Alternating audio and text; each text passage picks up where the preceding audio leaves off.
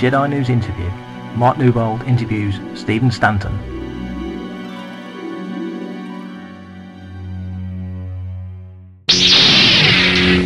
Now that Tarkin is out there in the Clone Wars universe, what are your hopes for the character as we chart the path towards his appearance in A New Hope in Episode Four? Well, you know, I certainly hope to to see more of uh, you know uh, the relationship developing between uh, both Tarkin and uh, and Anakin. I mean, it would be it'd be wonderful to, to see where that goes. I mean, I'd also, you know, just for myself as a fan, I'd love to see how he gets, to, you know, to be appointed to be uh, uh, in charge of the Death Star project that would be a lot of fun too. I don't know if Clone Wars is going to go in that direction, yeah. but uh, from what I've seen of, um, or what I know of season four, you know, which is going to be, uh, it's going to be a very, uh, let's see, it's it's it's an exciting season full of. There's going to be a lot of battles. Yeah. Going to be a lot of uh, a lot of new worlds coming coming coming our way, and there's going to be the return of some of some bad guys that everybody likes. So cool. You know, there's some good stuff in store. But um, so those evil you know, Ewoks are going to turn up again, are they? Well, I don't know about that. I, I, do know that the, you know they're they're really taking the show to a whole new level. I think that the people that if if you haven't watched the show before yeah. and you were a fan of the Star Wars movies, I think it's it's a good time to start tuning in uh, yeah. the next season and start watching it because I think uh, people are just they're just going to be knocked out by what they see. A question's just occurred to me, and I'm going to throw it at you as a bit of a curveball. Tarkin mm-hmm. and Vader in, in the original Star Wars, it, it kind of comes across that Tarkin, well, in retrospect, you don't assume that Tarkin knows that Vader is Anakin. What are your thoughts on that? Do you think Tarkin knows that Anakin and Vader are the same person? Well, just you know, from my own personal viewpoint, you know, not knowing where the creators of the show are going to take it, but just as you said in in A New Hope, you've got that scene with with Vader going into talking to talk to Tarkin in that uh, sort of conference room, yeah. where he says, you know, I feel the the presence of my old master, and Tarkin is the one who says, Obi Wan Kenobi, mm. you know, surely he must be dead by now. You know, so he knows exactly who Obi Wan Kenobi is and that he was Vader's master. So, I mean, there's got to be some, seems to be some knowledge there uh, of of who those two were together at, at one point. You know, I don't, uh, I don't know the details, but uh, Tarkin seems to be the one that brings up uh, Kenobi's name. So there's got to be something going on yeah. there, I think. I, I, thought it was very, very clear in, in the earlier the earlier parts of the Citadel trilogy when Tarkin and Anakin were talking. There was not not a not a huge age gap. You know, I think Tarkin's probably I would gather in his sort of mid thirties, and Anakin's probably in his early twenties. So you know, there's there's enough of an age gap, but they're kind of both been out there and have been fighting and they've done their bit, and there did seem to be a, a definite connection, which I'm really curious to see how you and Matt Lanter managed to sort of play that out over the next sort of couple of seasons or three seasons, however. Well, you know, one of the other things that he says to Vader, you know, where he's, where he's talking about the, you know, the Jedi's, you know, light has gone out of the universe, and he says, "You, my friend, are the last of that that religion, religion." Mm. You know, so he knows he's a Jedi. True. Yeah. So that's uh, that's an important point as well. Yeah. Isn't it strange though that when Lucas wrote all these things, that that 30 years later we would still be looking back at specific little lines and being able to read so much into it? Maybe he didn't even intend it at the time, um, but but it's just played out so beautifully, isn't it, over those years? Oh no, I think it it just makes for a lot of fun, you know, to watch the films and the prequels and to start, you know, and working on the new yeah. stuff. You know, it just gives that much more fuel to the fire. Absolutely, yeah. Now, Tarkin isn't the only character you've portrayed on the Clone Wars. Could you tell us a little bit about the other roles that you've played on the show? yes, well, of course, there's uh, Mas Amedda. You know, this is a crisis. He's the the the chancellor's right hand man, or whatever exactly Mas Amedda is. He's he's up to no good in my book. I mean, the guy is he's got some kind of agenda that I, I'm not sure what it is, but you know, Dave Filoni's kind of, you know, when he and I have talked about the character, you know, so he's always kind of, you know, reminding me now. Remember, Mas Amedda is always looking out for himself first. Yeah. You know, he will take sides wherever he thinks, you know, there's the winning team is. And then um, I also had uh, I had the uh, the pleasure of playing uh, one of the uh, uh, one of the members of the banking clan, uh, Mak Plain, uh-huh. who's that very thin mule representative of the banking clan. He was a lot of fun. He's the one that's you know giving out loans at very high percentage. Oh yes, yes, yes, and giving people a hard time about uh, about that. And then I think one of my favorite uh, characters was the um, was the um, uh, in the uh, I think it was the bounty hunters. Yeah. The uh, character of Delaney, you know, What? Why are we trying to do this? We don't. We, we're not fighters. We don't know how to use weapons. uh, such a great character. Yeah. and the evolution of that was a, a little kind of interesting. Uh, when I got in the audition for that character, they had given me a voice reference of a of a specific actor, a celebrity. I won't say who Yeah. it is, and they said we would like this character to sound like this. But when I got to the session, they had I guess they had had a creative meeting or something, and they had a change of heart, and they had somebody else in the room that was also doing a character of the same species, and they decided to go with you know, can you change that whole thing that you auditioned for and got the job with? Let's just forget all that now that we're just can you do this instead right now? it was like, okay, sure. So, um, and I think you know he's he's a kind of a fun character, and uh, you know I I, I kind of hope to see the, those characters brought Yeah. back again. It would be a lot of fun. But uh, yeah, so you know, and then and you know I've I've done a you know Brother Viscus. Uh, and um, I've done some, you know, Death Watch Troopers and things like Yeah. that. So there's, there's been a lot of great characters that I've gotten to do on the show. Did it feel kind of inevitable to you though that Tarkin would be the character that would kind of propel you into the sort of into that sort of little Clone Wars stratosphere because obviously he's such a a known character and the focus was on him so heavily in that Citadel trilogy and, and obviously again in season 4 did you kind of know that that would be the one that would sort of elevate it a little bit Well, I certainly knew that that was going to be the one that everybody suddenly noticed. Yeah. I mean, you know, it, because he's so he's so well known, and he has. I mean, let's face it. The first movie is really about you know he Yeah. He is kind of the main bad guy. I mean, he's he's absolutely uh, you know He's absolutely despicable. you know in that in that. I mean, he's blowing up planets. You know, uh, just to kind of prove a Yeah. point. Uh, you know, he's he's really a, a not so nice guy. So to see him brought back, I think you know it was a major event. I was I was so I was so uh, pleased to uh, to have booked the part and gotten the opportunity to play it. I you know I was of course even more pleased when I found out that it was a, a multi-story arc and that it wasn't just going to be one episode. Sure. So that was even that was like oh you know you couldn't couldn't ask for anything better. well if you had to pick of any other character to play on the show which one would you pick Well, that's a hard question. I mean, there's so many great characters in the Star Wars universe. Um, uh, actually, one of the, I mean, prior to my my playing Tarkin, if you had asked me that question, I probably would have said, "Oh, Peter Cushing," you know, as as uh, as Grand Moff Tarkin, because he's got to be one of my favorite characters in the show. And I think you know one of the things that I like about Clone Wars, to be honest, is the fact that they create they keep creating new characters for me to Yeah. do, and I really like that because it's it gets a chance gives me a chance to explore things that uh, you know cr- create new characters and come up with uh, new ideas and um, I really like that part of it. I, I like as much as I like playing the, the classic characters like Mas Amedda and of course uh, Tarkin. I really like the new characters Yeah. as well. They're a lot of fun to do. Do you feel that in, in that respect you get to have obviously the script's already written, but but you get an element of input in the way that you interpret what's printed on a page to what comes out verbally and then moves on into being in the episode? Do you feel more of an input in an original character? I think yeah, I there, there's definitely some of that because then I get to work with you know with Dave Filoni and you know kind of like uh, work it out and come up with uh, some ideas. You know, he definitely has his idea of what he thinks a character uh, uh, should sound like, and that's usually the kind of description uh, you know that. Uh, that you get when you get an audition sent to you. It's like, here is this new character, and we feel that it is something along these lines. You know, it's an older character, or it's a, you know, a, a character that's very alien and doesn't sound human at all. You know, so you get to kind of like come up with new things and, and hopefully something that no one's heard before, and hopefully something that's a lot of fun that people enjoy listening to. And something they make an action figure out of, which is always nice, isn't it? Nice. I'm waiting for that uh, Captain Tarkin action figure to come out. I can't wait to put that one up on my. we shelf. all are. your, Oh, your. Facebook page, it's taken off like a rocket, and you seem to really enjoy the interaction with, with the fandom out there. Do you get a kick out of conventions and, and, and those kind of appearances? Do you enjoy that?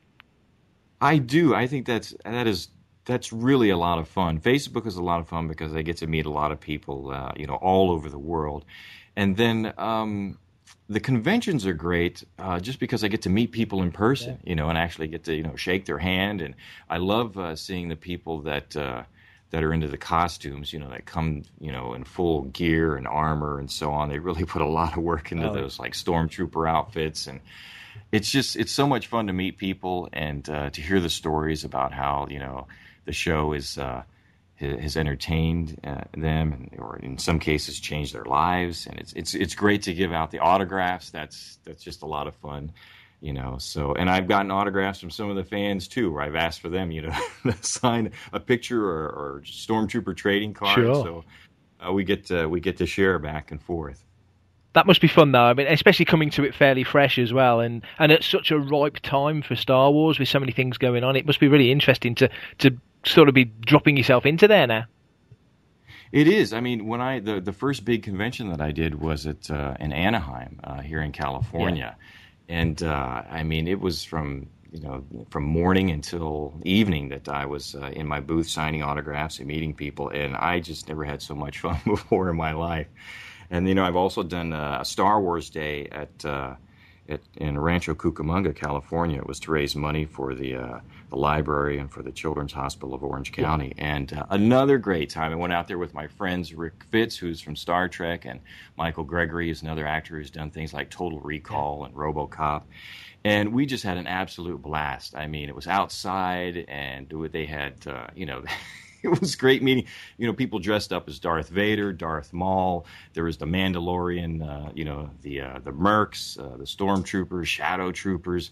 You know, everything you could possibly think of. Uh, you know, and meeting all the kids that came in costume yeah. too. That was just uh, so much fun. Yeah. It's absolute blast. Yeah, that's the great thing about the Clone Wars. I think is that it's just brought in. Being an old school fan myself, you know, it's just this Clone Wars are just brought in. I've got little nephews who are just mad about it, and I love it because I live and breathe it. So it's just great that it's bringing in that whole new generation again.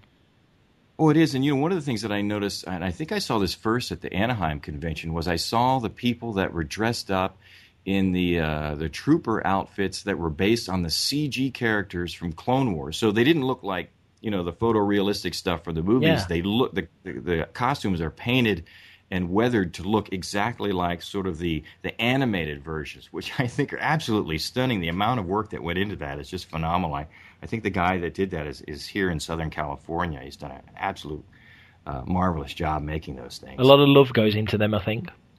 Yeah, absolutely. what other projects have you got lined up at the moment uh, outside of Star Wars?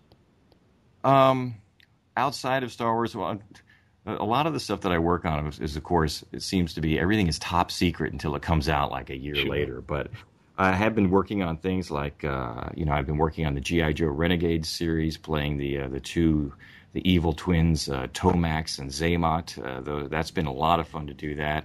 I've got uh, Lego Hero Factory, where uh, I play one of the the Lego uh, robots, Jimi Stringer. And as a matter of fact, Mark Hamill is in that series as oh, well. Cool. He's been playing characters. He, he actually plays the bad guy. uh, in the first one we did, he was Von Nebula. And um, I've got a couple of projects that I'm working on with Disney. Um, one of them I'm really excited about. I wish I could talk about, but it's super top secret. Yeah. Uh, I can't wait for that one to come come out, and I am also working on uh, a series that's coming out. I think later this year, or the beginning of next year, called Doc McStuffins, and that's been a lot of fun too.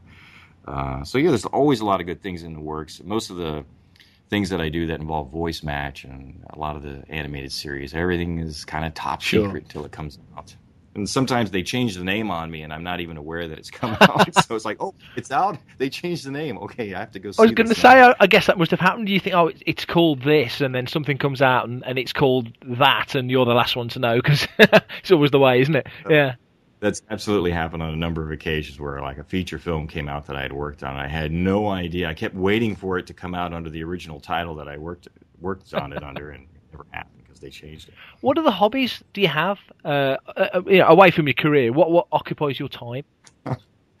um, yeah, that's a good one. Let's see. Besides from voiceover and voiceover and voiceover, um, one of the other things that I do is uh, uh, I love doing uh, stop motion. I, I had a uh, stop motion series up on YouTube. Yeah for about a year called Government Issue Joseph. Uh, actually, had quite a following in the UK. There are a lot of people there because I used the the figures that I used in it were uh, here in the United States. They're called GI Joe. In uh, in the UK, they were made by Palitoy, and they're known as uh, Action That's Man. it.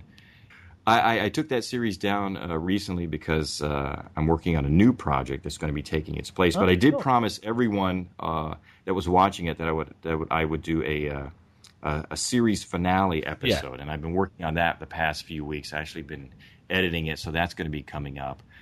Um, and, but uh, and it's called government government issue Jedi. Ah, okay. I'm writing So, this down. You see, I'm, the- I'm going to be looking this all up. So Yeah, no, I'll be uh, I'll be putting that up the, the link for that up on Facebook here. Uh, you know, probably in a few days or so. it's nice to But, hear an uh, American voice say Palitoy and Action Man because that is just the absolute essence of being a, a kid of 40, you know, playing with toys in the 70s. So that that's very cool. Well, and of course, it was part of my childhood too. I mean, GI Joe and the Adventure Team and all that stuff was, you know, I loved. You know, that was one of the places where I would practice doing voices as a kid. My brother and I would had, you know, all these figures, and we used to make, you know, films with them uh, using my Super 8 camera. But you know, those were all silent back in those Yeah. days. So, uh, government issue Joseph gave me a chance to go kind of revisit that scenario and give them all the voices that I had in my head.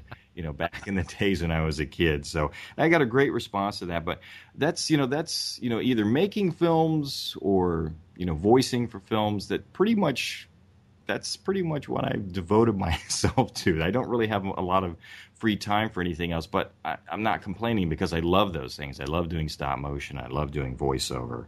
Uh, I can't think of uh, a better way to have fun and to make a living. Certainly paying off now, isn't it? So hmm one final question before I let you go, because I know you must be very, very busy with the, with everything that's going on. The Princess Leia um, project that's going on at the moment, that's getting so much attention. Yes. Tell us a little bit about that, because you're very involved with that at the moment. Right. Yeah. Um. Uh. The parents of little baby uh, Princess Leia, uh, Franny and Zev Eskenazi, are uh, here in Los Angeles, and baby Leia is at uh, UCLA Hospital, and she's had some medical problems that over 40 doctors uh, have been looking at and haven't been able to figure out. So. Uh, they're trying to get the word out and uh, also trying to raise money uh, uh, uh, for the family because this has really financially devastated them. Uh, the, the little baby has been in uh, the hospital now for like 55 days. Um, but the, a lot of the friends of the family and uh, people in the Star Wars uh, fan community and people like myself uh, that are involved with you know some of the shows like myself Peter Mayhew are getting involved in uh, spreading the word around to try to get as many people aware of the situation. We're trying to help raise money. They have uh, uh, some of the, the fans and friends have they've got a prop auction going on. They've got a, a raffle. I think they've sold over 1700 tickets for that. Uh, they've got a donation page where you can just you know go to paypal and donate money uh, to the family to help with the hospital expenses. And you can read about what's going on you know day to day like on the uh, the princess leia the diaries. And i have the links to all those things the the diaries and the, the auction the raffle. They're all on my facebook page. If anybody wants to know more about them they can go there. And uh, you know we're always keeping them at the top of the page uh, keeping them current so that uh, people makes it easy for people to find. But i think it's really it's really important to kind of get the word out uh, see if anyone out there maybe there's another doctor that knows what's going on and can maybe help out in some way Well, fingers crossed because it's it's it's such a terrible situation, and for the doctors not to really know what her condition is, it it just seems so, um, without sounding too morbid, t- so desperate that that It really is. I hope mean- that yeah somebody can Yeah, I mean we've we've tried to contact people. That we contacted the Children's Hospital of Philadelphia and let them know about it, and they've been in touch with the family. And I have other friends out here.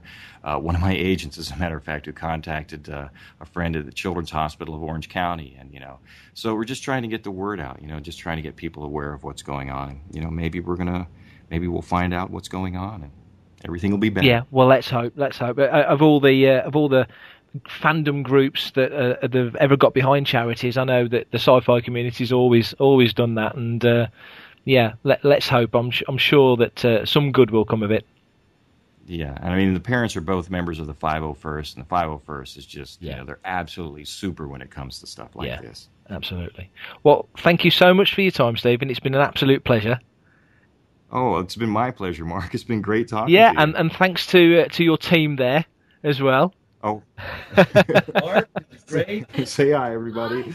and I'm sure we'll meet at the convention sometime. I'm, I've got every every intention of getting over there for Celebration Six, so I'm sure we'll. Uh, oh, yeah, We'll have awesome. chance to meet. awesome. Yes. Oh, it sounds great. fantastic. Thanks again. All the best. All right, you too. Talk to you Cheers. later. Take care. Bye-bye. Bye.